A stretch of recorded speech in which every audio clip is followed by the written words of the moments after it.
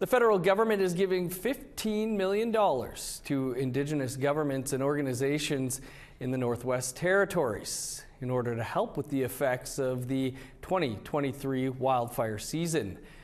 The money will be used to reimburse governments and organizations for expenses incurred while supporting their members. Wildfires last summer caused 70% of the territory's population to be temporarily evacuated. Officials say many Indigenous governments and organizations use their own funds to help evacuees with flights, accommodations, and cultural supports.